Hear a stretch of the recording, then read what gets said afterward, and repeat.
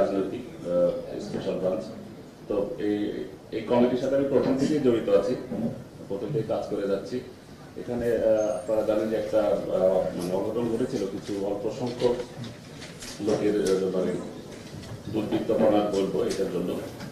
তো সেক্ষেত্রে সরকারের একটা রাজনৈতিক ভাবমূর্তির ইমেজ সংকটও দেখা দিয়েছিল। তো আমরা খুব, এই কমিটি আমরা সর্ব সেপ্টেম্বরে কাজ শুরু করি।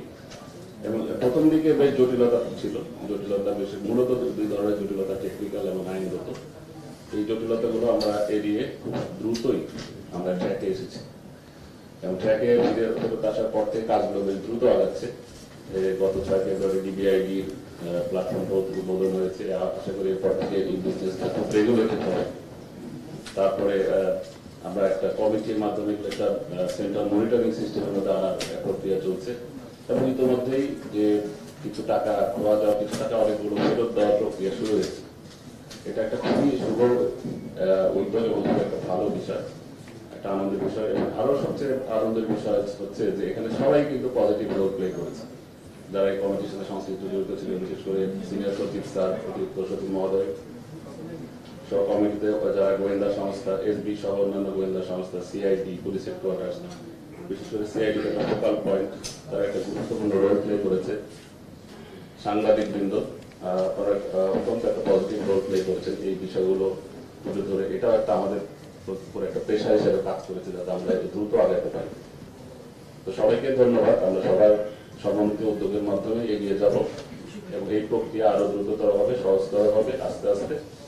সবাই সুফলটা পাবেন। এবং এই ধরনের অঘটন না ঘটে, আমরা সবাই সতর্ক থাকব। ধন্যবাদ। আমাদের স্পেশাল ব্রাঞ্চের ডিআইজি মহোদয়কে তার বক্তব্য প্রদানের জন্য।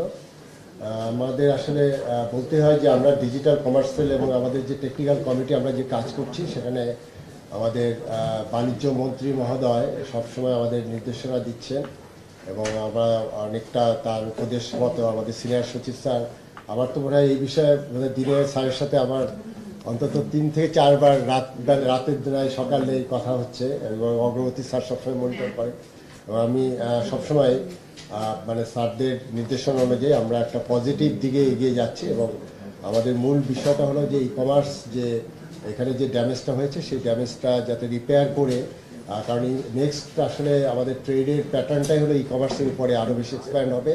সেখানে আমরা মনে করি যে এই ইন্ডাস্ট্রি আবার ঘুরে দাঁড়াবে, এটা আমাদের সবারই প্রত্যাশা। আমি এই পর্যায়ে এখানে আলিশা মার্টের চেয়ারম্যান মহোদয় আছেন।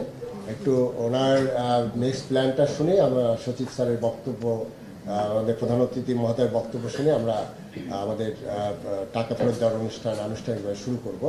আলিশা মার্টের চেয়ারম্যান মহোদয়, আপনি আপনার নেক্সট প্ল্যানটা একটু বলেন, কারণ আপনার বিষয়ে কিন্তু সবাই তাকিয়ে আছে যে আসলে মানে গ্রাহকরা বা সাধারণ জনগণ চায় যে আপনি একটা যেগুলো কমিট করছেন, আমরা আপনাদেরকে সাপোর্ট দিচ্ছি, কিন্তু সেই কমিটমেন্ট যাতে রক্ষা হয় সে ধরনের কার্যক্রম আপনি নেবেন এবং আমি বলব যে আপনার আপনার এই চেষ্টা ছিল দেখে আজকে আমরা এই অনুষ্ঠানের আয়োজন করতে পারছি এবং টাকা ফেরত দিতে পারছি।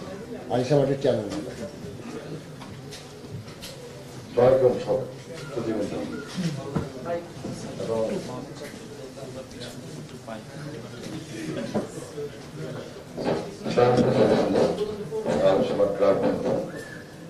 এবং অত্যন্ত ধন্যবাদ আমাদের সিনিয়র সচিব তথাকান্তিক অতিরিক্ত সচিব সাহেব। আমি প্রত্যেকে ধন্যবাদ জানাই আমাদের মিনিস্ট্রি আসলে অসম্ভব রকম কমার্স মিনিস্ট্রির কাজ শুধুমাত্র ডিজিটাল কমার্স নিয়ে কাজ করা না, তাদের মাল্টি ওয়ের ফাংশনাল জব আছে। কিন্তু এটাকে প্রায়োরিটি দিয়ে আছে। প্রায়োরিটি দিয়েছে কেন? হাজার হাজার মানুষের কষ্টের মধ্যে আছে। কিছু মাত্র ই কমার্স প্রতিষ্ঠানের জন্য। তাদেরকে অতিরিক্ত পরিশ্রম করতে হচ্ছে। ইভেন যেসব ল এনফোর্সমেন্ট এজেন্সি আছে, তাদের কাছে হঠাৎ করে একটা অ্যাডিশনাল চাপ পড়ে গেছে। হাজার হাজার মামলা, হাজার হাজার মানুষের প্রবলেম সো এটা আসলে আমরা কিছু ক্ষেত্রে ভুল করেছি এটার জন্য আমাদের মতো অনেকেই দায়ী হয়তো অসুস্থ একটা প্রতিযোগিতা ছিল। যে ও যদি দশ পার্সেন্ট দেয়, তাহলে আমারটা তো বিক্রি হবে না, আমাকে বারো পার্সেন্ট দিতে হবে। এই ধরনের একটা অসুস্থ প্রতিযোগিতা ছিল।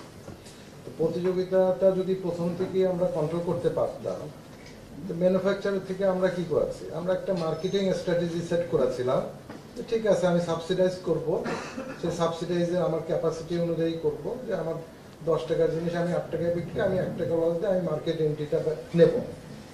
কিন্তু পরবর্তীতে দেখা গেল কিছু কিছু ই কমার্স সেটাকে অ্যাকচুয়ালি টাকা কালেকশনের একটা মানে প্রতিষ্ঠান মানে বানিয়ে বানিয়ে ফেলল। একটা মার্কেটিং স্ট্র্যাটেজি একটা টেম্পোরারি সিস্টেম আমি মার্কেটে একটা যখন নতুন প্রোডাক্ট লঞ্চ করব, তখন আমি হয়তো বিজনেসটা করব না।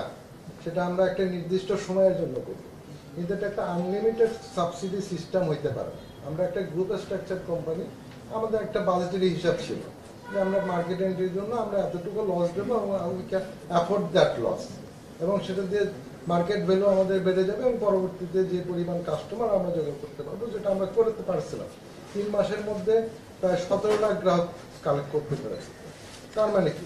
ডিজিটাল কমার্স বাংলাদেশের ফিউচার এটা অনস্বীকার্য, আমরা স্বীকার, অনেকে করতে চাই অথবা না করতে চাই। এই মার্কেট গ্রো করবে। আগামী পাঁচ বছরের মধ্যে আমার ধারণা এটা ষাট থেকে সত্তর হাজার কোটি টাকার মার্কেট হবে।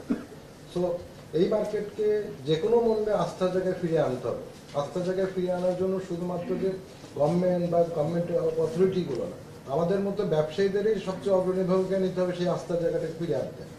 আমি যদি পালিয়ে যাই, আমি যদি গ্রাহকের টাকা না দিই, এই যে টেন্ডেন্সি আইন দিয়ে কিন্তু সবকিছু সমাধান করা যায় না। এটার জন্য সোশ্যাল স্ট্রাকচারটা দরকার। আমাদেরকে বলতে হবে, ধিক্কার জানাইতে হবে সেই ধরনের ব্যবসায়ী গ্রুপগুলোকে যে you are wrong you cannot do it শুধুমাত্র ল এনফোর্সমেন্ট বা গভর্নমেন্ট এটাকে কোনোভাবে কন্ট্রোল করতে পারবে না।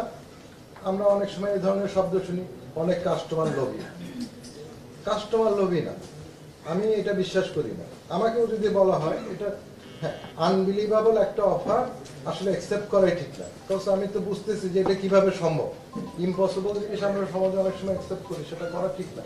তো সেটা আমরা একটা সোশ্যাল স্ট্রাকচারে সাংবাদিক ভাইদের অনেক দায়িত্ব আছে সোশ্যাল মিডিয়াতে যারা অ্যাক্টিভ তাদের দায়িত্ব আছে, ব্যবসায়ী গ্রুপের যেরকম দায়িত্ব আছে, সরকার প্রবলেম হলে তখন সে দেখতে পাবে কিন্তু প্রবলেম যাতে না হয়, যেমন একটু আগে শফিক সাহেব বললেন যে, এটা আমাদের অ্যাসোসিয়েশন আছে।